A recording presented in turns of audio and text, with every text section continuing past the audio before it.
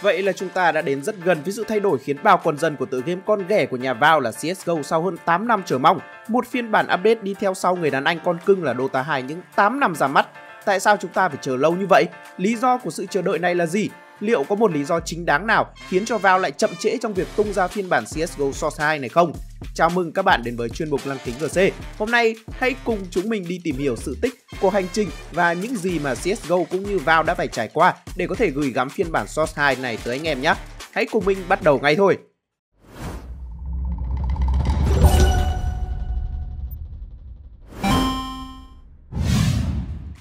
Giống như vạn vật trên trái đất, chúng ta có sự khởi đầu, sự phát triển và cuối cùng là sự hưởng thụ những thành quả mà chúng ta đã bỏ ra. Và với CSGO, trong câu chuyện Source 2 của mình, nó đã bắt đầu từ năm 2015. Cụ thể hơn là vào ngày 17 tháng 6 năm 2015, Dota 2 Reborn hay còn được gọi với cái tên khác là Dota 2 Source 2 đã đem tới cho người chơi một bản cập nhật beta miễn phí dưới định dạng Optional Executive Launcher hay trình khởi chạy điều hành tùy chọn ngay khi người chơi đăng ký và hoàn thành cài đặt game. Khi đó, Valve đã phải cho ra mắt những ba trang nhằm giúp cho tất cả mọi người nắm phần dễ hiểu hơn về công nghệ game mới được phát triển của Gaben. Nhưng tất cả có thể được gói gọn bằng một pha đập đi xây lại hoàn toàn của Valve sau ngày 5 tháng 9 2015 với mọi thứ đã có một màu sáng hơn phiên bản đi trước. Animation, hình ảnh hay thậm chí các model của nhân vật lần lượt được vào chỉnh sửa giúp cho số lượng polygon của chúng còn nhiều hơn cả Morphling khiến cho nhân vật thủy triều dâng theo chiều trăng lên này luôn bị lấy ra làm phép so sánh mỗi khi Dota 2 có update về đồ họa mới. Ngay khi thấy sự thành công của Dota 2 trong bản update về Source 2, thì cộng đồng CSGO khi đó cũng đòi hỏi vào hãy đối xử công bằng với người đàn anh đi trước và cho ra mắt phiên bản tương tự với CSGO. Tuy nhiên, mọi thứ mà cộng đồng này nhận được chỉ là một sự im lặng kéo dài dài dẳng từ phía vào. Không phải là do vào không lắng nghe, mà là vì phiên bản Source 2 Engine khi đó còn chưa tròn một năm tuổi, với sự tối ưu hóa vẫn ở thời điểm sơ khai, vào đã ngay lập tức đánh cược hoàn toàn vào hệ thống này khi áp dụng nó vào Dota 2. Một bước đi có thể nói là vô cùng táo bạo liều ăn nhiều của Valve vào công nghệ mới của mình. Chỉ đến khi hệ thống mới đã dần được cải thiện và nhận được nhiều phản hồi tích cực từ cộng đồng, Valve mới chính thức xóa sổ sự tồn tại của Source 1 trong Dota để thay thế hoàn toàn bằng Source 2. Vậy nên anh em có thể nhìn theo một chiều hướng khác là Valve đem đứa con cưng của họ khi đó đi thử nghiệm trước nhé. Nếu có thất bại thì lại gỡ và để im phiên bản Source 1 rồi lấy bài game beta ra làm bia đỡ đạn mà thôi. Quen văn này của Valve lắm rồi. Thế là anh em không phải tự ti nữa nhé. Hãy cùng mình sang hành trình năm tiếp theo. Thế là đã 2 năm kể từ phát súng đầu tiên về Source 2 được các con dân CSGO phải ngó sang nhà anh hàng xóm Dota 2 với ánh mắt thèm thuồng, chiêu mến và liên tục gửi thư tới ông già Gaben và mong ông có thể đem tới cho họ món quà Source 2 cho bằng bạn bằng bè. Sau hơn hàng ngàn, hàng triệu lá thư gửi về cho ông già Gaben thì cuối cùng chúng ta đã có hai đầu mối cho sự phát triển của Source 2 trong CSGO. Vào ngày 11 tháng 4 năm 2017, Valve đã có một động thái đầu tiên giới thiệu sự hiện diện của Source 2 khi đang chào hàng CSGO tới thị trường game Pháp Sư Trung Hoa. Trong bài thuyết trình của một người đại diện cho Valve tại thị trường dành cho các pháp sư tương lai, họ đã nhắc đến sự hiện diện của server 128 tix, nhiều chế độ chơi phong phú, bảng xếp hạng và hệ thống tính điểm cùng với matchmaking thông minh. Theo sau là hướng dẫn tham gia và trải nghiệm CSGO cùng thông tin giải đấu CN và Operation sẽ sớm được ra mắt. Ngay sau đó, sự hiện diện của thứ mà người chơi CSGO mong chờ nhất, dòng chữ Source 2 hiện lên cùng với lời hứa một AI hoàn thiện chuyên bắt và tiêu diệt triệt để các pháp sư cứng đầu và Panorama UI trong CSGO được ra mắt vào mùa hè năm đó. Và khi mùa hè năm đó tới, chúng ta có được gì? Operation Hydra vào ngày 23 tháng 5 năm 2017. Còn lại các thứ khác mà vào đã từng hứa khi đó thì đâu chẳng thấy. Chỉ thấy vào game là có mấy anh tên chữ tàu quay quay dưới đất là mình bị vỡ đầu. Đúng là tháng tư là lời nói dối của Vào. À mà giờ đây nó còn xảy ra liên tiếp luôn rồi. Chỉ biết buồn mà thôi. Ngay còn lại là dựa vào một cuộc phỏng vấn độc quyền với đội ngũ làm game CSGO vào 24 tháng 2 năm 2017 do Tyler McVicker hay vào New Network thời đó đứng ra chủ trì. Khi đó, ông Ido Magal, lead dev của CSGO cũng đã bày tỏ sự hứng thú của mình về công nghệ Source 2 và cho rằng nó là một công cụ cực kỳ quan trọng trong tương lai của CSGO để dẫn tới thành công cho tựa game. Và kể từ đó, sự tích về Source 2 trong CSGO chính thức được ra đời. Chúng ta đã chính thức bước sang năm thứ hai kể từ thông báo chính thức của Valve với sự ra mắt của hệ thống so sài cho đứa con ghẻ là CSGO. Bỏ lại sau nó là không biết bao nguồn tin Church Me Bro về sự xuất hiện của Source 2 kèm ngày ra mắt cuối năm nay của các trang báo mạng. Danh sách cuối năm nay của chúng dài đến nỗi mà bản thân tụi mình đếm cũng không xuể.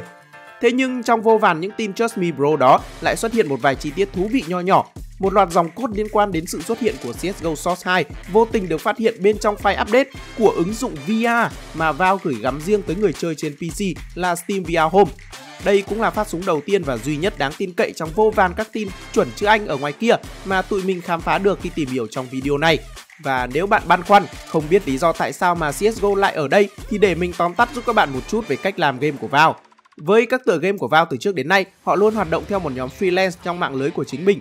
Điều đó có nghĩa là các nhân viên của Valve có thể đi tới, đi lui đến bất cứ dự án nào mà họ thích, bỏ lại dự án mình còn đang răng dở lại phía sau bất cứ lúc nào họ muốn mà không hề bị phạt gì cả và để đảm bảo rằng dữ liệu đó luôn ở đó để người tiếp theo có thể bắt kịp và tiếp tục công việc của người đã rời vị trí kia. Valve đã đầu tư hẳn một server riêng để mọi người có thể xả hết các dòng code vào trong một cách vô tội vạ nhưng không hề khiến chúng bị overlap với nhau. Hoặc nói một cách bóng gió và dễ hiểu hơn, đó là mấy người ở vào làm việc vô tổ chức. Khá lười nhác và hay đi sử dụng lại những asset từ trước đó về dán lại vào file của mình nên còn đọng lại những thứ thừa thãi từ file mà bọn họ chẳng hề hay biết hoặc là không để ý. Đó chính là lý do tại sao mà trong dữ liệu tìm kiếm của Valve luôn có những mảnh cốt thừa đọng lại trong file. Tuy rằng nó không hề ảnh hưởng đến dự án của họ, thế nhưng nó lại chính là đầu mối khiến cho các phù thủy máy tính có thể dễ dàng theo dõi chuyển động của Valve và cho ra mắt những thông tin dò dỉ chính thống từ chính các file của họ và tụi mình cũng dựa vào đó mà khai thác. Từ năm này trở đi sẽ rất là mệt đấy anh em ạ bởi vì kể từ tháng 2 năm 2020, mọi hoạt động liên quan đến Source 2 đều trở nên bùng nổ vì đó là thời điểm mà Half-Life Alyx khiến cả thế giới vỡ òa khi trở thành siêu phẩm VR vô địch thiên hạ mà cho đến tận ngày nay vẫn chưa có bất kỳ đối thủ nào có thể địch lại được. Kể cả Call of the Mountain, tựa game độc quyền của PS2 VR nhà Sony, những thông tin về Source 2 cũng đã có những chuyển biến rõ rệt nhất thông qua một update của Dota trong đó là một dãy dài những cốt liên quan đến CSGO ở trong. Nhưng lúc này đây, những file của CSGO đang được các nhà phát triển dừng lại hoàn toàn từ những dòng cốt liên quan đến công nghệ VR được sử dụng cho Half-Life Alyx để cấu tạo nền móng cho CSGO. Theo như Pavel Dundik, nhà sáng tạo ra SteamDB hay Steam Database giải thích, điều này liên quan đến việc Valve muốn giảm thiểu thời gian làm game của mình bằng cách sử dụng lại những gì đã làm và đem nó về test trên CSGO. Công đoạn render hay kết xuất đồ họa thường là một công đoạn chiếm lấy nhiều thời gian nhất nên việc Valve tái sử dụng những assets cũ mà mình đã từng làm cũng vô cùng dễ hiểu. Và khi Half-Life Alyx ra mắt vào 23 tháng 3 năm 2020, khi những con dân đang hì hục trải nghiệm CSGO thì những phù thủy máy tính lại đang chú tâm hoàn toàn tới những đoạn cốt thừa thãi mà Valve để lại trong game của họ và không bất ngờ gì khi Half-Life Alyx lại là một mớ vàng cho họ trong công cuộc tìm kiếm sự tồn tại của Source 2 trong CSGO. Tại đây, Valve đã copy toàn bộ những dòng cốt của CSGO để xem sự tương tác của chúng với công nghệ Source 2 mới sẽ có phản ứng ra sao và dựa vào những phản ứng đó để xây dựng một bàn thử nghiệm nhỏ và giúp cho các nhà phát triển có cái nhìn tổng quan hơn về cách thức hoạt động của các tương tác trong CSGO với môi trường Source 2. Bạn có thể thấy sự so sánh mà tụi mình tìm được trên màn ảnh nhé. Và để kết thúc năm 2020, Valve đã cho ra mắt một setting nhắm đến sự cải thiện về mảng đồ họa mang tên Texture Streaming vào tháng 5. Một ứng dụng đã xuất hiện bên trong Half-Life Alyx kể từ ngày đầu ra mắt. Đây có thể là một cách mà các nhà phát triển của CSGO đem lại nhằm hỗ trợ cho người chơi có trải nghiệm tốt hơn trong map mới, đặc biệt là hệ máy cũ hơn về mặt FPS. Sự thêm thắt này cũng khiến cho cộng đồng CSGO đưa ra nhiều giả thuyết về sự có mặt của Source 2 trong CSGO. Tuy nhiên, thì điều này sau đó cũng đã được nhà phát triển Idomaga lên tiếng xác nhận là tin vịt hoặc chỉ ít đó chỉ là những lời bao biện để ông ta cùng đội ngũ của mình có thể tiếp tục âm thầm phát triển Source 2. Năm 2021, wow, Năm này là một năm trước khi thảm họa ập đến khiến cho cộng đồng CSGO chuẩn bị đón chào một sóng gió lớn khiến vô số người phải gãi đầu, gãi cằm và tự hỏi rằng liệu CSGO có còn sống không ta? Bởi vì vào năm đó, sự chú ý các con chiên ngoan đạo lại hướng về những operation mới ra mắt rất đều đặn. Ai nấy cũng đều rất vui thì đùng một cái, mọi thứ trở nên lặng thinh đến kỳ lạ trong năm 2022. Bắt đầu với tháng 1, CSGO Source lại một lần nữa xuất hiện với một tia chiếu nhắm vào một công nghệ hoàn toàn mới. Đấy là công nghệ demo giúp cho người chơi có thể xem lại replay game đấu của mình tựa như trong Dota 2. Và nếu bạn vẫn còn tỉnh và lắng nghe mình nói về mấy dòng code công nghệ này thì bạn sẽ biết Dota 2 là game được vào update thường xuyên nhất và hiện đang sử dụng cho mình đó chính là công nghệ Source 2 Engine. Đến thời điểm này, Source 2 Engine cũng đã khá là hoàn thiện hơn sau 7 năm phát triển nên việc này cũng trở nên dễ dàng hơn để cho các nhà phát triển hoạt động qua lại với nhau trên nền game Dota 2 cũng được đơn thuần hóa trong cách làm game ở Valve. Vì sao mình lại nói như vậy? Vì Dota 2 đang chạy trên nền Source 2 một cách rất ổn định và Valve lại đang cần sự ổn định ở một môi trường online ngoài CSGO để test hệ thống của mình. Khi bạn kết nối hai cái lại với nhau cùng cách làm game nổi tiếng của Valve thì điều trên khá là dễ hiểu thôi. Đến tháng 4, Dota 2 lại một lần nữa được update và chẳng hề bất ngờ khi CSGO lại xuất hiện trong file của game. Toàn bộ những gì bạn thấy trên màn hình ngay lúc này đều là code về CSGO chứ không hề dính dáng gì đến Dota 2 cả đâu. Một dây cốt thật dày phải không nào? Và toàn bộ đoạn cốt này lại nằm gọn trong file của Dota 2.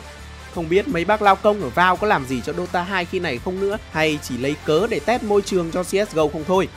Và trong file tháng 4 này, Điều đầu tiên mình phải kể đến ở đây đó chính là sự update của phiên bản CSGO Bug Reporter đã lên đến số 3.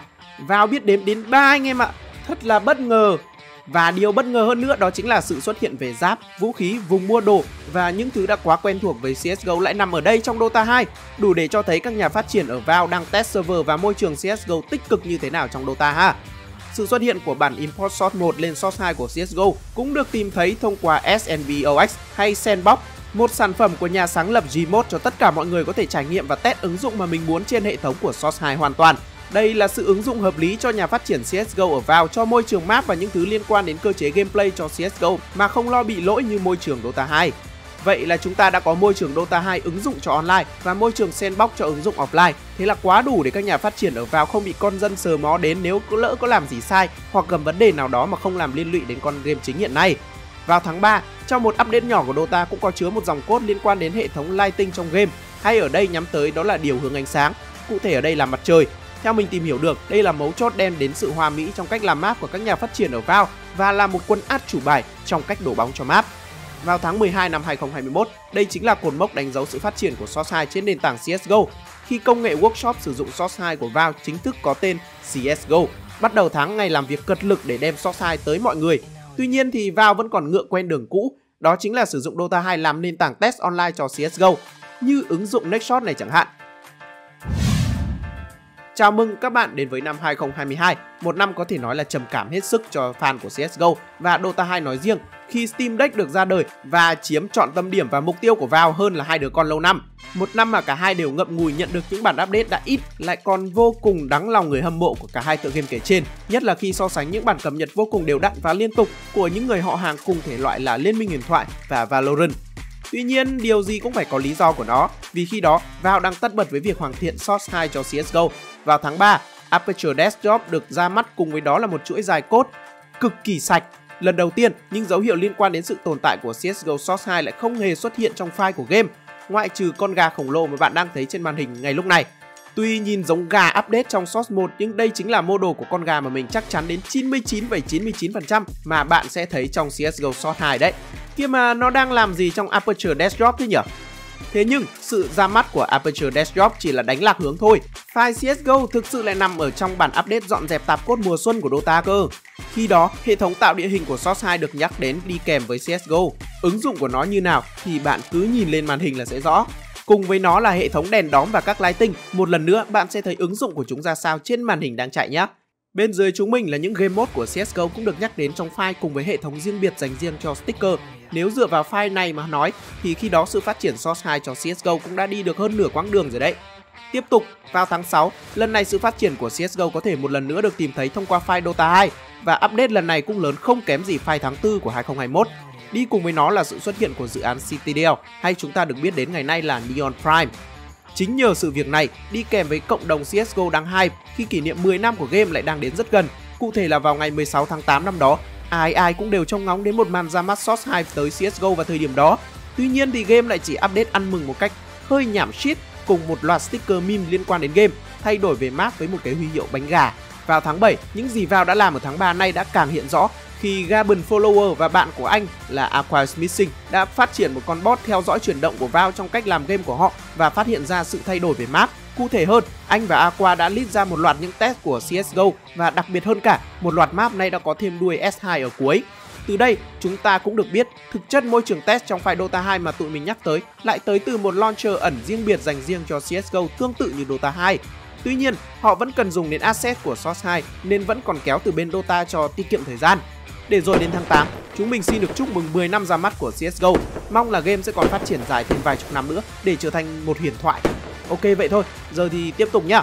Vào tháng 9, ngay sau khi sự kiện sinh nhật CSGO tròn 10 năm tuổi kết thúc, Valve đã có động thái tuyển thêm người tham gia vào dự án Source 2 của CSGO.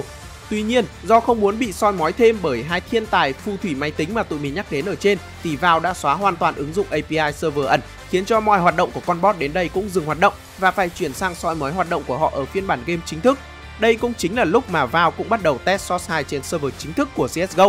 Đủ để biết khi đó game đã sẵn sàng cho trải nghiệm thực tế hơn rồi nha.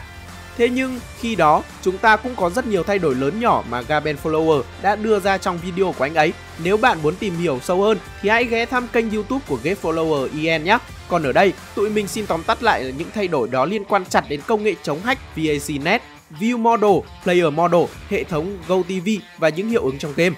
Vào tháng 11, khi những thứ lớn kia đã dần được hoàn thiện, vào đã lại một lần nữa thêm vào Dota 2 một vài dòng code giúp họ test sự biến chuyển của các item workshop từ Source 1 lên Source 2 một cách tự động hóa, cùng với những sự thêm thắt bổ trợ cho hệ thống workshop và edit trong game có phần hoàn thiện hơn bằng các model có sẵn từ Source 1 đổ vào.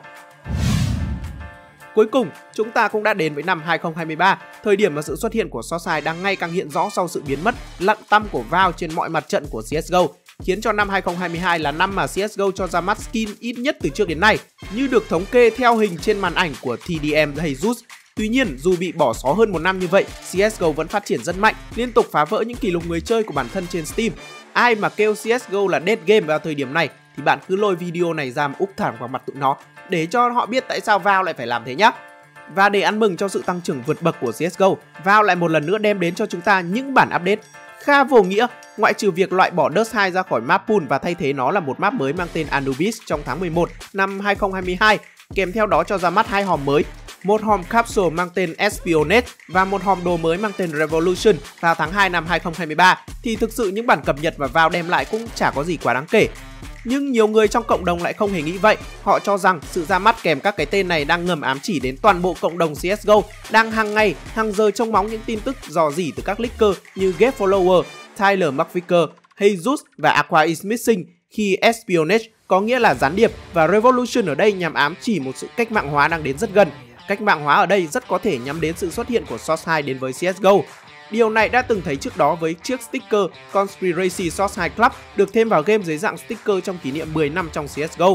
Và boom, chúng ta đến với tháng 3 tháng hiện tại khi chiếc video này lên sóng. Vào thời điểm này, GC Channel tin chắc rằng sự xuất hiện của CSGO Source 2 đang đến rất gần bởi theo thông tin mới nhất từ các trang báo như VGC, Diserto về dữ liệu thông tin của CS2.exe bị dò dỉ hôm trước là tin chuẩn việc hai file chạy là CS2.exe và CSGO S2.exe được các phù thủy máy tính phát hiện ra là do một công ty tư nhân vô tình update file vào dữ liệu của Nvidia GeForce để test cấu hình và gửi đánh giá về cho vào. Không những thế, nhiều người cũng chỉ ra rằng CSGO dạo gần đây rất hay đổi cover trên Twitter và khi đổi thì luôn để bìa là Counter Strike chứ không hề có chữ Global Offensive đằng sau. Cho đến thời điểm hiện tại thì nó đang hoàn toàn trống trơn, như ngầm ám chỉ một điều gì đó sắp đến.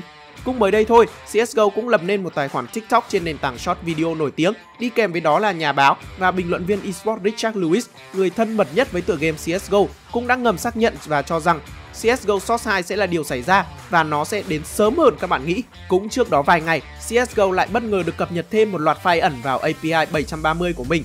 Cùng giờ với update của mùa ta bên Dota 2, những tập file này có giá trị tương đương một big update của Dota 2 tựa như ngày ra mắt của Dota 2 Reborn, phiên bản beta Source 2 của Dota 2 trước khi sát nhập trở thành Dota 2 như hiện nay. Các bạn có thể thấy sự tương đồng được hoàn chỉnh hóa như thế nào qua hình ảnh đã được Aqua is Missing liệt kê ra trên màn hình mình khuyên các bạn nên pause video lại để thấy rõ file này hơn nhé. Theo SteamDB và Pavel Dundic, cha đẻ của SteamDB 2279721, cốt tổng hợp nhằm ám chỉ sự xuất hiện của Workshop Tool dưới dạng DLC trong game. Điều này đã được vào sử dụng để nâng cấp, làm mới công nghệ Workshop cho cộng đồng sử dụng để thêm vào những thay đổi và chỉnh sửa trong game của mình. Optional DLC code nhằm pop-up lựa chọn cho game nếu có hơn hai phiên bản game chạy trong cùng một app. Điều này đã được Game Follower và Pavel Dundic confirm rằng đây là một dòng code lựa chọn start game tương tự như phiên bản Dota 2 Reborn, một lựa chọn cho người chơi muốn trải nghiệm bản Source 2 hay tiếp tục gắn bó Source 1 trước khi bắt đầu game. Theo Game Follower, CSGO hiện nay đang có 3 phiên bản Chinese dành riêng cho cộng đồng Trung Hoa, Generic phiên bản Source 1 hiện nay và cuối cùng là Source 2. Cái tên như đã nói lên tất cả, anh cho biết Valve đã hoàn thiện hết những gì CSGO cần để chạy Source 2 beta ngay lúc này. Tuy nhiên, Valve lại chọn nhánh âm thầm hơn là đưa file Source 2 trong công ty tư nhân test, trải nghiệm và làm báo cáo từ tháng 12 năm ngoái.